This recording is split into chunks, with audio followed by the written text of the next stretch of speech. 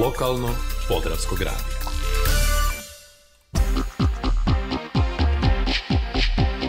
Dobar dan u lokalno podravskog radija. U Zagrebu je priličeno svećeno potpisivanje ugovora za projekt Zaželi, a ugovoru su gradonačelniku grada Đurđevca Hrvoju Janči uručili predsjednik vlade Republike Hrvatske Andrej Plenković, ministar Marin Piletić i ravnatelj Hrvatskog zavoda za zapošljavanje Ante Lončar.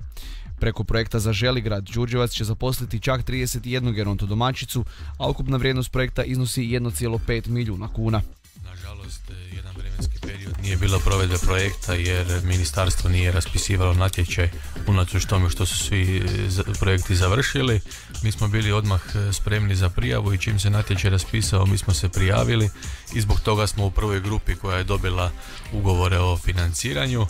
E, imat ćemo ukupno 31 geronto domaćicu koja će brinuti o preko 250 e, korisnika i zapravo E, ovaj projekt ima dvije lijepe strane. Jedno je da se zapošljavaju žene koje su teže zapošljive na tržištu rada, a s druge strane brinu o korisnicima kojima je pomoć potrebna, koji su stariji, koji ne mogu sami obavljati neke kućanske, ali i vanjske poslove.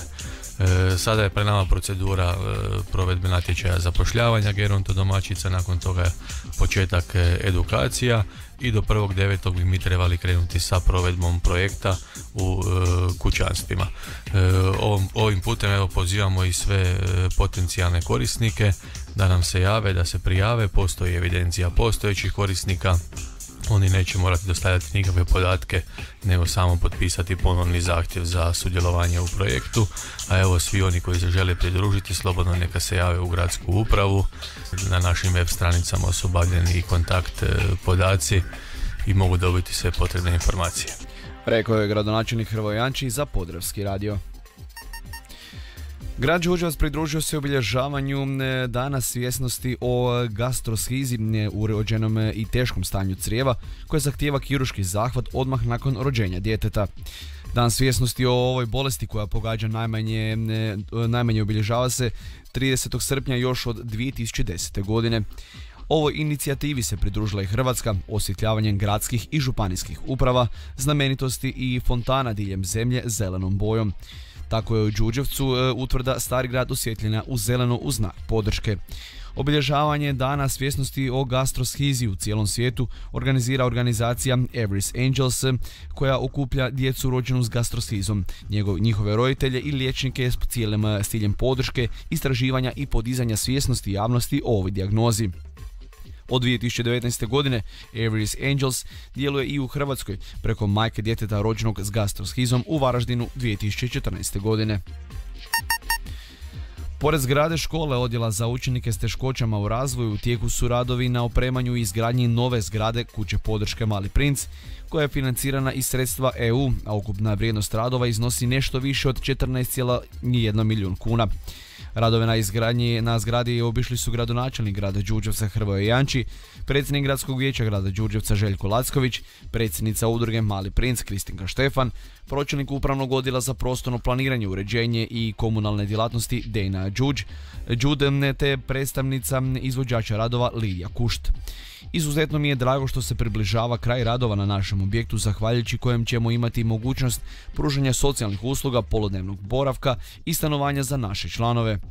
Imamo velike, veliku podršku lokalne zajednice na koju smo ponosni, a koja pokazuje brigu za našu djecu i težnju za izgradnju boljeg i pravednijeg svijeta, istaknula je predsjednica Kristinka Štefan. Već dugo traje želja za izgradnjom upravo ovakvog prostora na području grada Đurđevca. Osim izgradnje novog objekta, u tijeku su i radovi na uređenju kompletnog dvorišta i zimskog vrta, a uskoro se kreće i s postavom vodenog igrališta. Ovim putem želim pohvaliti cijelu ekipu koja je radila na prijavi projekta, rekao je gradonačelnik Hrvoje Janči. Ovaj projekt je dokaz da se Đurđevac ne razvija samo kroz građevine, već i kroz socijalni segment u pružanju kvalitete socijalne usluge. Ovo je za našu djecu s područja Đurđevca, ali i okolnih općina, koja trebaju pomoć u odrastanju te dobar primjer koji bi trebale slijediti sve druge sredine, rekao je predsjednik gradskog vijeća Željko Lacković.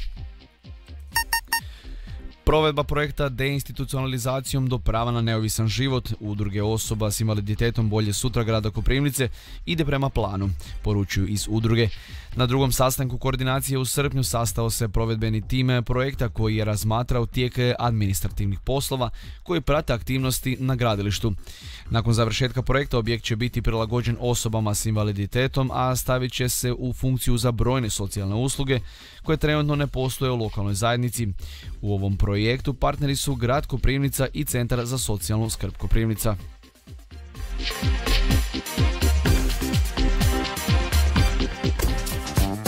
Kultura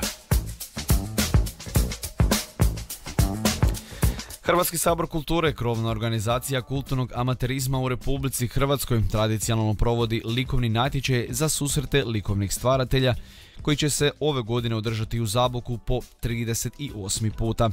Isto tako već tradicionalno udruga Peski Art Đurđevac je među najuspješnijim likovnim udrugama u Republici Hrvatskoj. Za izlaganje na likovnim susretima u Zaboku izabrano je devet autora i njihovih likovnih radova prijavljenih preko udruge Peski Art e, izložit će Željko Bečaj, Pero Cik, Ivana Hadžija, Đuro Jaković, Mirko Markešić, Franjo Mihoćka i Marijan Štimac, te Pero Petrina Topljak i Đuro Zvonar. Izabran je i likovni rad članice Sanje Benko, koja se prijavila preko kulturne udruge Sveti Martin iz Dubrave. Na natječaj Hrvatskog sabora kulture pristiglo je 276 radova, 252 rada iz 29 prijavljenih likovnih udruga i 24 rada samostalno prijavljenih autora. Za izložbu 38. susreta likovnih stvaralaca 2022. odabrana su ukupno 103 rada, a među kojima je čak 10 radova članove udruge Peski Art Đuđevac. Izložba 38. susreta likovnih stvaratelja bit će postavljena u galeriji grada Zaboka. U izložbenom prostoru su organizatora Pučkog otvorenog učilišta Zabok od 20. rujna do 22. listopada. Otvorenje izložbe bit će 20. rujna s početkom u 19 sati, a susret i zatvaranje izložbe 22. listopada s početkom u 12 sati.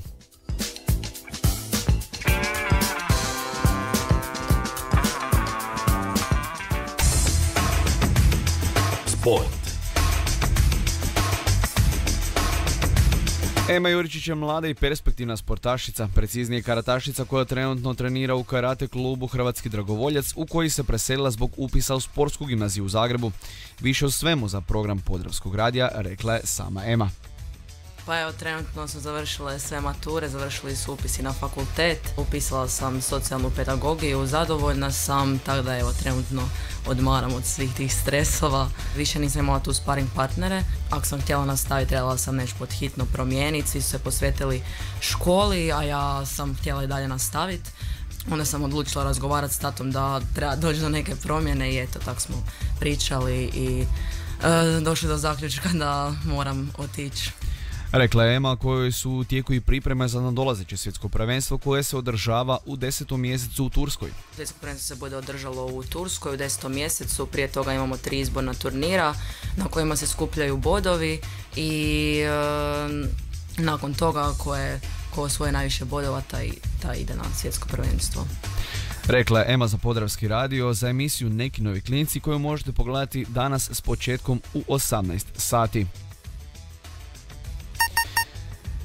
Jučer u Kalinovcu je odigrana prijateljska utakmica između domaćeg Kalinovca i gostiju nogometnog kluba Graničara iz Đurđevca. Bolji su bili Picoki koji su pobjedili rezultatom 2-1. Školi nogometa e, grada Koprivnice jučerašnjim potpisom ugovora na bazenima Cerine pristupili su nogometni klub Starigrad i nogometni klub Omladinac iz Herešina. Ugovor su potpisali Krešimir Belčić ispred Starigrada, Dražan Jedvaj ispred Omladinca i Saša Grubačević ispred škole nogometa grada Koprivnice. Kako je istekao predsjednik škole nogometa grada Koprivnice Gruba, Grubačević u suradnji s gradom i tvrtkom e, cijelom se, cijelo se vrijeme radilo na poboljšanju infrastrukture svih terena radi treninga i igranja utakmica. Postavljeni su reflektori u močilama, a u završnoj fazi izgradnje novih klubskih prostorija. Isto tako postavljeni su reflektori na igralištu kod bazena Cerine, te je nabavljena oprema za kvalitetno treniranje i odigravanje utakmica, rekao je Grubačević. Veliko zadovoljstvo potpisanim ugovorom iskazao je i koprivnički gradonačelnik gradonačelnik Mišel Jakšić. Ovo pokazuje da Koprivnica nije slučajno nazvana gradom sporta. Imati nogometnog prvoligaša, treći ligaša i mnogobrojne amaterske klubove u županijskim ligama, mislim da nema niti jedan grad osim Zagreba, Rijeke i Splita, a to pokazuje kako volimo sport, kako volimo nogomet i, kako, i koliko imamo sjajne ljude koji rade odličan posao. Zbog toga mi je drago da grad uspijeva pratiti ulaganja koja su potrebna za daljni razvoj mladih, mlađih kategorija, zaključio je Jakšić.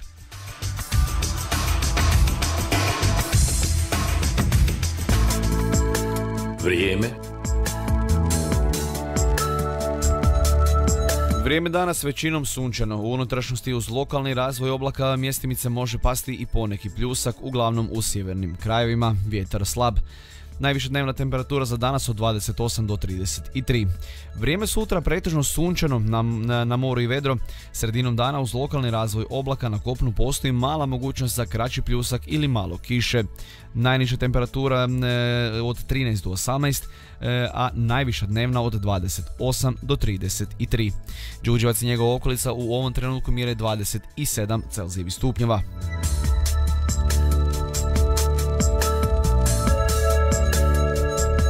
Lokalno Podravskog radija sufinancirano je sredstvima Fonda za poticanje pluralizma i raznovrsnosti elektroničkih medija.